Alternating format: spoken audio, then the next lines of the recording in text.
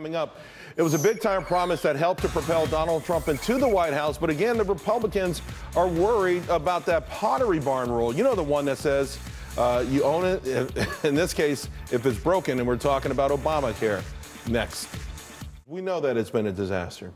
Uh, you know, we had a couple of healthcare CEOs yes. recently talk about this thing imploding on itself. We all knew that was going to happen, but what kind of what kind of risk are we talking about, and what kind of alternatives are we talking about?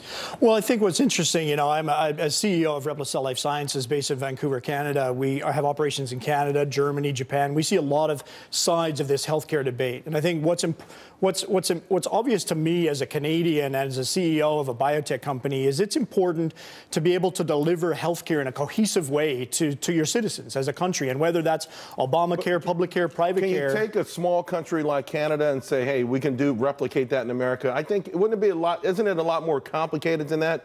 Well, you know, I'm, I'm, I, you know, ab- absolutely. I mean, I, you know, I, I love the fact that that as a as a country, Canada believes in basic health care for its citizens. But whether that's delivered publicly or privately, I think the the most important part of the equation is that you know we're in the business of developing next generation um, medicines for people that clearly the American people want to want to support. Both sides of the House supported the 21st Century Cures Act almost unanimously, and yet to do this and to support those kinds of innovations, we need next generation reimbursement.